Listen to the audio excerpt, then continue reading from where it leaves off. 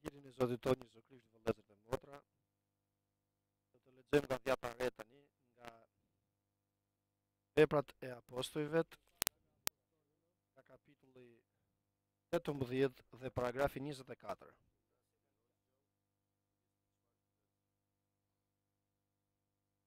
Veprat e Apostujve, kapitulli 18, paragrafi 24. Por një jude me emër Apollo, lidhur, lindur më falni në Aleksandri, njeri orator dhe njohës i shkrimit, arriti në Efes.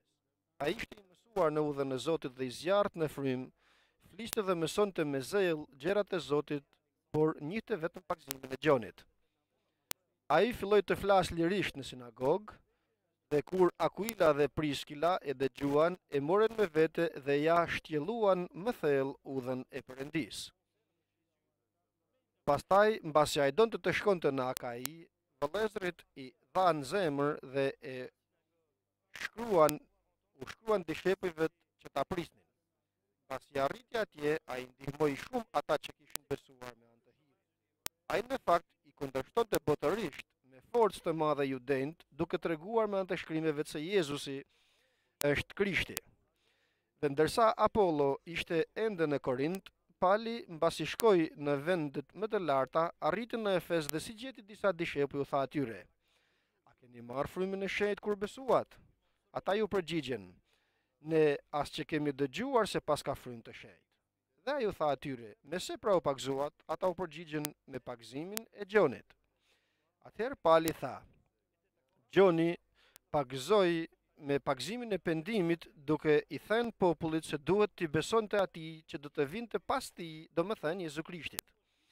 Dhe ata si dëgjuan, u pagëzuan në emër të Zotit Jezus.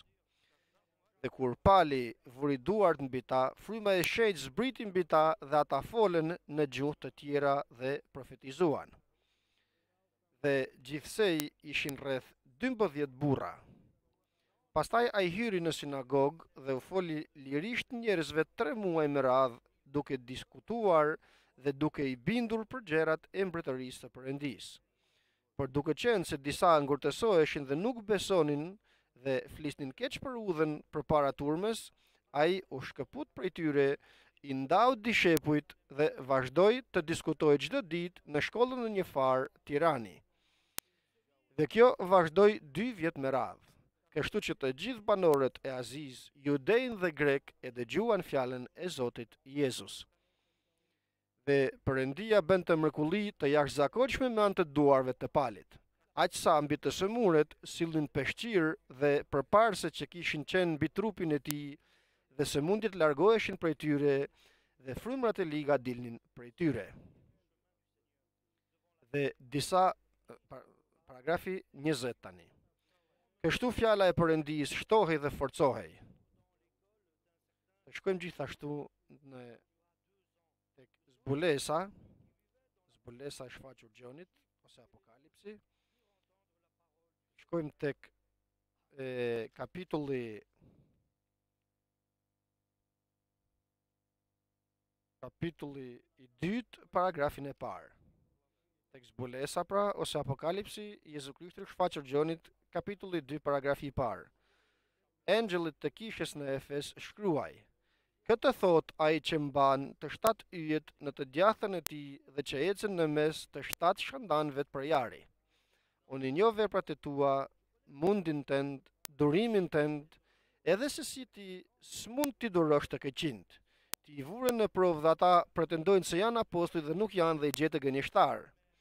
Ti ke duruar, ke qëndrueshmëri dhe për hir të emrit tim je munduar pa u lodhur, por kam diçka kundër teje, sepse dashurinë tënde të parën e le. Kujtohu pra se nga ke rënë, pendohu dhe bëj veprat e para E para, në mos do të vij së shpejti te ti dhe do ta luaj shandanin tënd nga vendi i vet, nëse nuk pendohesh. Por ti ke këtë, që i urren veprat e Nikolaitëve që i urrej edhe unë. Kush ka vesh, le të dëgjojë atë që u thotë fryma kishavet. Kujt fiton, do t'i jap të hajë nga pema e jetës që është në mes të parajsës së Perëndisë.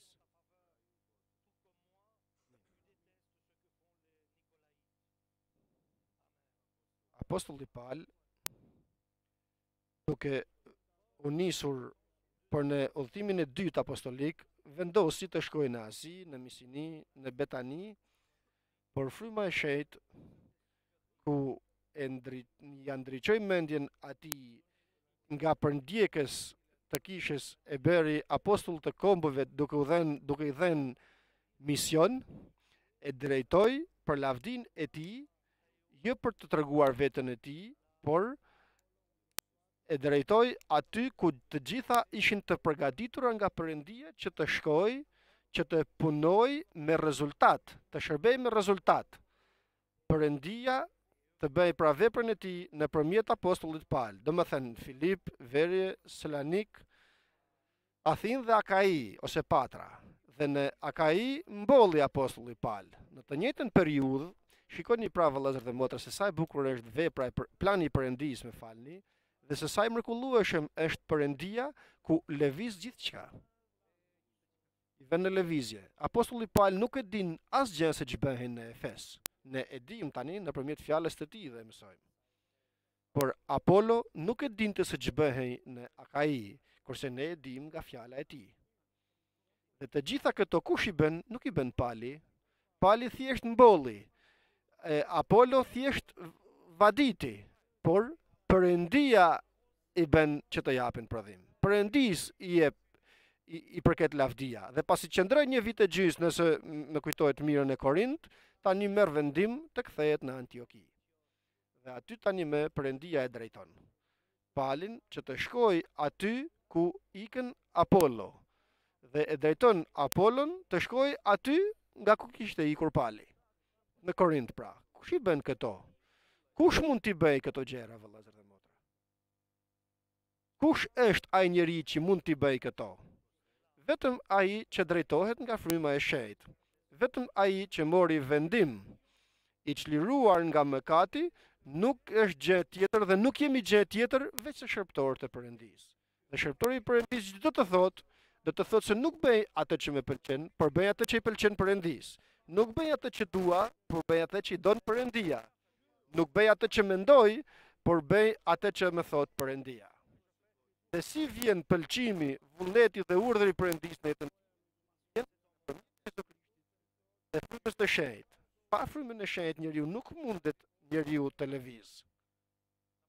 është çadra e mbledhjes, por pa renë e, fr e frymës të shenjtë. Dhe nëse nuk është reja e frymës të shenjtë, nuk lëviz arka e besëlidhjes, nuk bën veprën që krijoi Perëndia me njerëz. Nëse dëshiron që të bësh veprën e Perëndisë, nuk bëhet ndryshe veçse nëpërmjet Jezu Krishtit dhe frymës të shenjtë. Nuk bëhet ndryshe veçse duke kërkuar udhëzimin e frymës të shenjtë që të drejtohet dhe të udhëzohet nga fryma e shenjtë, të jesh shërbëtor i Perëndisë, nuk bëhet në mënyrë tjetër. Ndryshe çdo gjë që të bësh do të jetë njerëzore dhe në fund do të arrish në një udhëkryq. Harroje pra natyrën njerëzore tënden. Të vjetrat kaluan, Perëndia i bën të gjitha të reja. Don të bëjë gjithçka të re. Mendoni Davidin, o Zot, të shkoj? Të shkoj që t'i ndjek amalekitët, do, do t'i gjenj? Ma ku do të shkosh? Kush është ai njeri i logjik që do t'i thoshte shko? Ku të shkonte, nga t'i ndiqte? Vetëm përëndia i thotë shko dhe unë kam përgaditur mënyrën që t'i gjesh, që t'i shkatërrosh, të çlirosh dhe të lavdërohet emri im. Vëllezër dhe motra, Jep një kujdes ju lutem kësaj që do të themi. Perëndia në jetën tuaj, të gjitha i ka gati. Kini kujdes se ku shkelni. Nëse nuk shkoni aty ku Perëndia ka përgatitur vendin, atëherë do të humbisni. Do të shkoni majtas dhe djathas dhe do të mbeteni në udhëkryqe. Në qoftë se përparon dhe shkon aty ku ka përgatitur Perëndia gjithçka, Kudo që të shkosh, do të ekzistojë lavdia e Perëndisë. Do të jetë mëshira e Perëndisë, do të jetë forca e Perëndisë.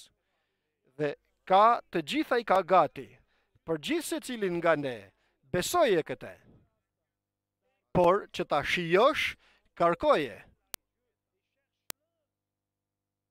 Kush kërkon nuk ka për t'i munguar asnjë e mirë frymërore. Jo pasuria. Të pasurit u, u varfëruan, por vetëm ato që kërkuan Zotin nuk do të mbeten nga të mirat e tij. Nuk flas për pasuri materiale, por flas për pasurinë, as për pasurinë e Laodicesë, që thotë jam i pasur, u pasurova dhe s'kam nevojë për asgjë. Dhe vjen Perëndia dhe u thotë, Je qyqar dhe mjeran dhe i zhveshur, ku mendon se unë bëra hir në ty dhe ti kujtove se u bëre i pasur. I varfër dhe mjeran je! Dhe lavdëroje Perëndinë për këtë. I vogël dhe i pavlerë je dhe falënderoje Perëndinë për këtë, sepse Perëndia shfaqet i fortë tek ai që e din se është i dobët. Dhe kur dobësia jote do të arrijë kulmin, atëherë forca e Perëndisë do të zbulohet në mënyrë të përsosur në ty. Dhe këtu ekzistojnë dy mënyra, mënyra e krishterimit pra dhe dashurisë, dhe mënyra e detyrimit që të të arrijë Perëndia të të çojë në dobësi të plotë që ta ketë të nevojshme. Le të zgjedhim pra krishterimin. Dhe si do të bëhet kjo? Të mburremi në dobësitë tona. Dhe mos më thuaj se nuk bën gabime. Mos më thuaj se je i fortë. Mos më thuaj se mundesh të bësh diçka.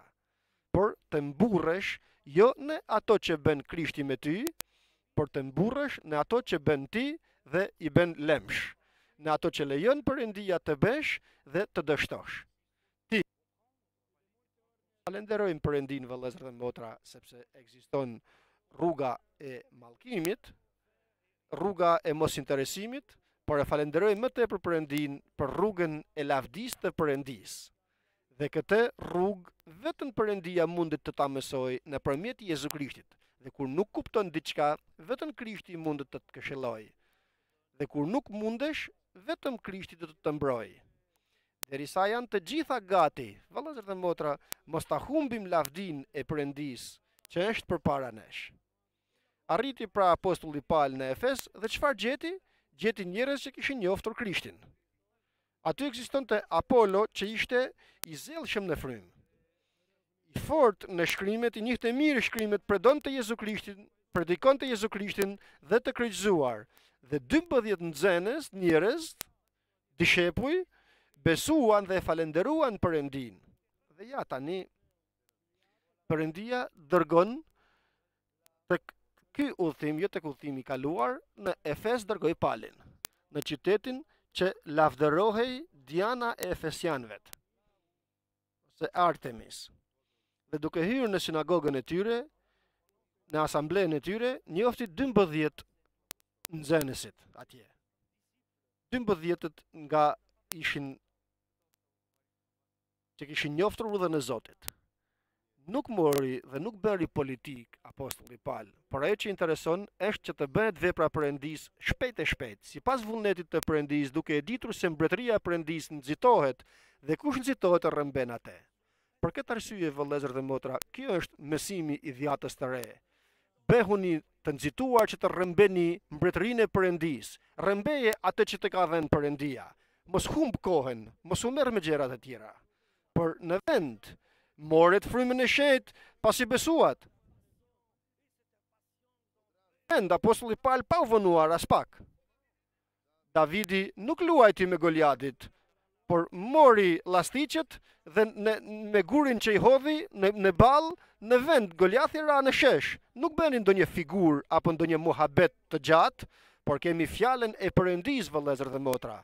Në vend direkt në fjalën e Perëndisë. S'është nevojë që të marrim kënd me të mirë, sepse nuk fitojmë asgjë nëse do të marrim tjetrin me të mirë, me ëmbëlsitë njerëzore. Vetëm me fjalën e Perëndisë jemi fitimtarë. Fitimtarë sepse Perëndia na bën gjithmonë të fitojmë nëpërmjet Jezu Krishtit, që është fjala e Perëndisë e ardhur në mish. Vetëm me fjalën e Perëndisë. Mos mendo vëlla dhe motër, por thjesht rrëfe. Mos u mundo të gjesh ndonjë rrugëdalje, por rrëfeje Jezu Krishtin dhe këtë të kryqëzuar. Unë nuk vij thotë drejt jush apostulli Pal me diturinë dhe mençurinë njerëzore apo me fjalë bindëse njerëzore ndaj jush. Unë vij tek ju me vërtetime të forcës të frymës të shenjtë dhe Perëndia thotë eja shërbëtor i mirë dhe besnik në pak qëndrove besnik dhe në më shumë gjithnjë do të të vej vendos sepse kush nxitohet e rrëmben mbretërinë e Perëndisë e morët frymën e shenjtë derisa besuat as që nuk e dimë ç'është fryma e shenjtë i thanë Nuk i pyetin për ndonjë gjë tjetër apostulli Pal në Efes, nuk bëri gjë tjetër. Vëllezër dhe motra, ka zbulesë që të shfaqet mungesa të njohë dhe ta zbulojë mungesën që kanë njerëzit. Në atë moment nuk flet njeriu, por fryma e shenjtë e mëson dhe në dobësinë e tij nuk e mëson, por fryma e shenjtë mëson ose flet në të. Besoji pra ngushëlluesit frymës së vërtetë, por si? I përulur, ose e përulur me lutje, me udhëzim, me dashuri, Dhe nxënësit thanë, thanë, as që nuk e dimë se ç'është fryma e shenjtë. Atëherë në çfarë u pagëzuat? Nuk u pagëzuat në emër të Atit të Birit dhe të Frymës të Shenjtë. Përse thoni se nuk dini se ç'është fryma e shenjtë? Dhe aty u zbulua dobësia e Apollot dhe e të dymbëdhjetëve. Jo thotë Apolli na ka mësuar vetëm për pagëzimin e Gjonit, për pagëzimin e pendesës. Po, por duhet të ndryshosh tani. Don që të të ndryshojë Krishti vëlla dhe motër. Don që të të shfaqë dobësitë e tua, mungesat e tua, që t'i ndryshosh. Është shumë e rëndësishme vëllezër dhe motra të dashur, sepse kemi mungesa. Për këtë arsye lutja jonë nuk është që të shkojmë të grindemi, të ankohemi apo të qajmë përpara Perëndisë, por është të shkojmë të bashkëbisedojmë me Krishtin. është mik i joni. Zot, nuk erdha të të them, por erdha të më thuash. Erdha të më thuash çfarë të ndryshoj, çfarë nuk të pëlqen në mua, dhe nuk ka për t'u përgjigjur, patjetër që do të përgjigjet. Dhe nëse mëson që t'i afrohesh të dëgjosh zërin e tij, sepse don të bashkëbisedojë me ty. Gëzimi i tij ishte të bashkëbisedonte me Adamin dhe me Evën çdo perëndim të diellit në parajsë. Gëzimi i tij është të bashkëbisedojë me ty në dhomëzën tënde të lutjes. Lutja nuk është që të bësh gëzime të veçanta, por lutja është një përkushtim, po është një panair frymëror. Në dhomëzën tënde të lutjes, merre Biblën, gjunizohu, pendohu, kërko gjakun e Krishtit, dhe thuaj, o Zot, erdha të dëgjoj zërin tënd. Mos fol për pak. Thjesht mbushu me frymën e shenjtë dhe pastaj pusho, se do të dëgjosh atë erën e hollë të lehtë të pranisë të Perëndisë. Do të dëgjosh Krishtin që do të flasë, sepse flet Krishti vëllezër dhe motra. Nuk është i vdekur, është i ringjallur, është i gjallë. Thuaj, o Zot, më ngjit përpara fronit të hirit të Atit Perëndi, do të të ngjisë nëpërmjet hirit të tij, sepse është e shkruajtur që të përjetosh fronin e hirit të Perëndisë. Krishti është i gjallë, ecim nëpërmjet fjalës të tij, Nuk ka shumë fjalë ai. Fute anijen në të thella. Ma çfarë thua tani, gjithë natën peshkuam dhe nuk kapëm asnjë. Ti që nuk i njeh edhe peshkimet. Nuk bëhet kjo që të zemë peshk. Nuk tha kështu Pjetri. Për këtë arsye u bë apostull. Nuk tha kështu më saktë Simoni dhe pastaj u bë apostulli Pjetër. Por thotë, O Zot, ngaqë e thua ti, do të shkoj. Dhe çfarë u bë? U bë ajo që nga njerëzit nuk mund të jetë e kuptueshme, sepse Perëndia bën mrekullira në jetët e njerëzve që kërkojnë zërin e Krishtit dhe i bindet zërit të Krishtit dhe lavdërohet Krishtin në jetën e tij. Nuk është i krishteri i fjetër, zgjohu o i fjetur, thotë Zoti, dhe ka për të të bekuar Perëndia. duke shfrytëzuar kohën, mos ta humbim kohën me internet dhe me gjëra të kota. Futu brenda në dhomëzën e lutjes, merre fjalën e Perëndisë, është e gjallë dhe më prerëse se çdo thikë me dy tehe, do të vijë të ndajë shpirtin nga fryma, do të jetosh dhe të përjetosh një Perëndi të gjallë, të vërtetë, Jezu Krishtin të ringjallur, do të njohesh Zotin Perëndinë tënd, Jezu Krishtin të vërtetë, jetën e përjetshme do të njohesh. Të ka vënë roje në familjen tënde, në kishë, je roje të ka dhënë Krishti borinë, që të, të, të, të, t'i biesh borisë. të ka dhënë forcë të jetës të përjetshme, jo që të qëndrosh dhe të rrish të bësh përtac, por të luftosh në lutje, të presësh në lutje, të qëndrosh në lutje, sepse Zoti vjen shpejt. Dhe don të të bekojë, don të na bekojë Perëndia vëllezër dhe motra. Lufton që të na bindë se don të na mësojë shumë vëllezër dhe motra. Dhe kur erdhi dhe fryma e shenjtë, kur u pagëzuan në ujë dhe bënë vullnetin e Perëndisë, Krishti i pagëzoi dhe me frymën e shenjtë, dhe nga aty dhe tutje kaluan në gjërat e mrekullueshme, sepse ishte e përcaktuar nga Perëndia. E gjithë Azia e dëgjoi predikimin e Ungjillit. Nga kush? Nga Pali. Kush është Pali? Një njeri i pavlerë, po, por një shumë i rëndësishëm për mbretërinë e qiellit. Një shumë i rëndësishëm për Krishtin. Kush ishin të dymbëdhjetët? Nuk dinin asgjë, por Krishti i njifte dhe kishte përgatitur për ta lavdinë e tij për ta. Gjërat të mrekullueshme u bënë nëpërmjet duarve të apostullit Pal dhe të të tjervet. Dhe fjala e Perëndisë, sikurse lexuam, thotë se shtohej dhe forcohej. Forcohej vazhdimisht. Por, vëllezër dhe motra të dashur, pas pak vitesh, pak a shumë 30 vjet më vonë, kisha e Efesit ishte një kishë për t'u marrë shembul në te, e lëvdon Perëndia me letrën që i dërgon. Sepse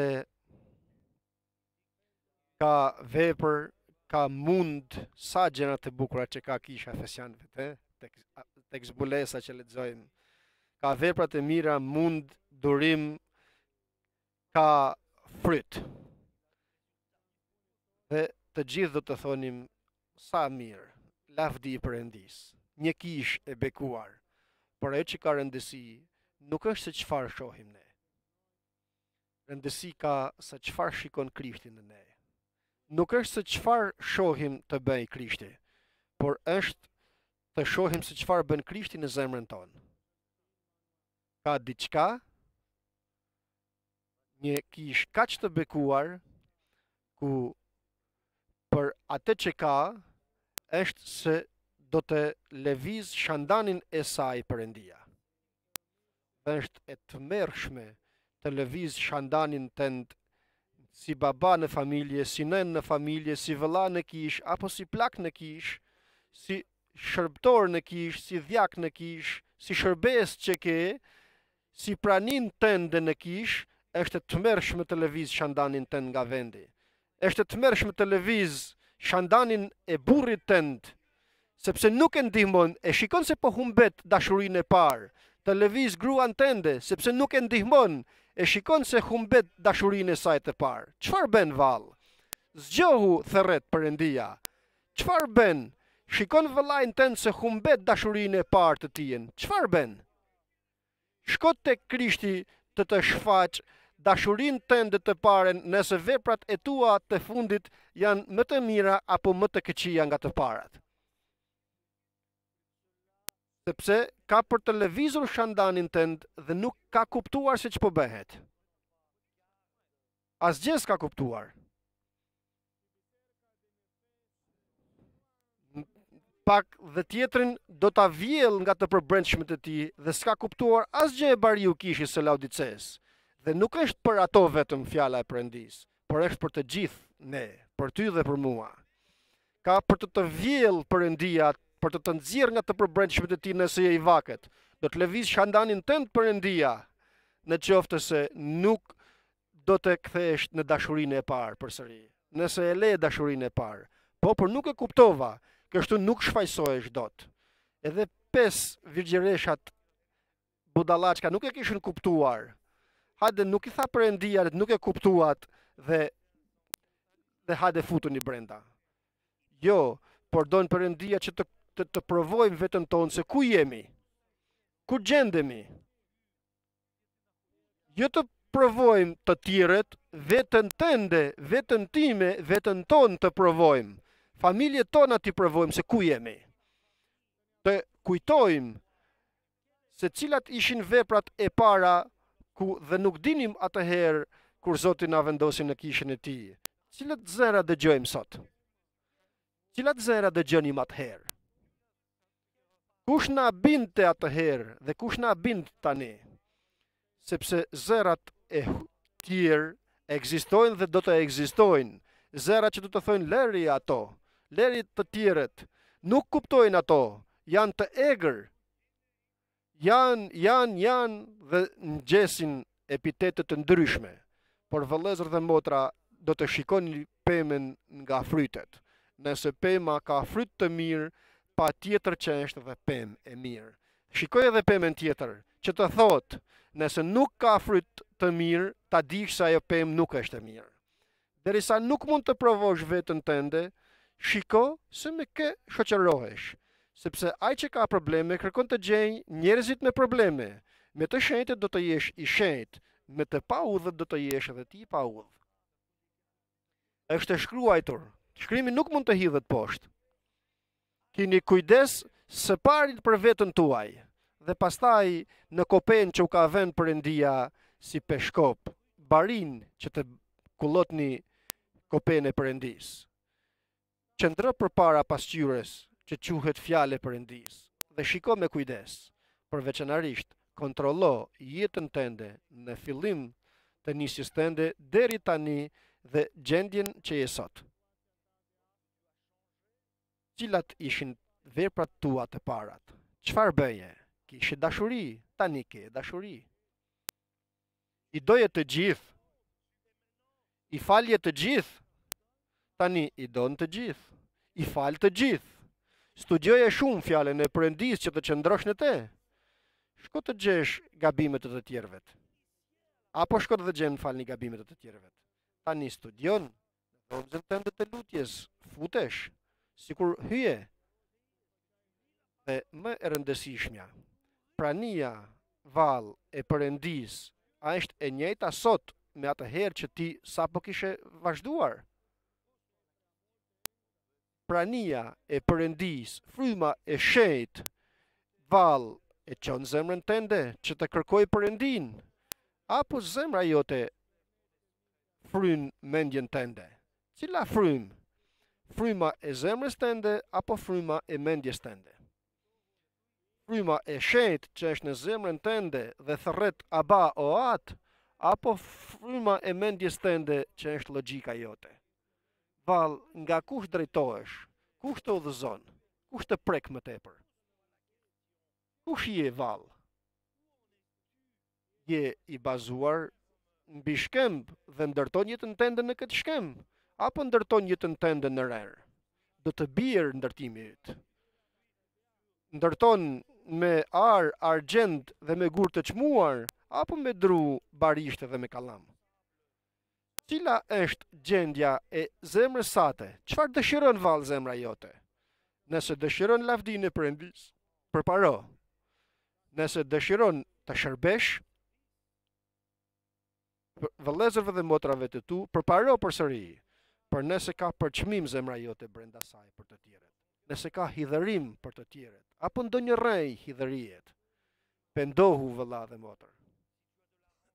Sepse pas kësaj, nëse nuk pendohesh, ka ose për të shndërruar vend shandanit tënd, ose për të të nxjerrë nga të përbrendshmet e tija.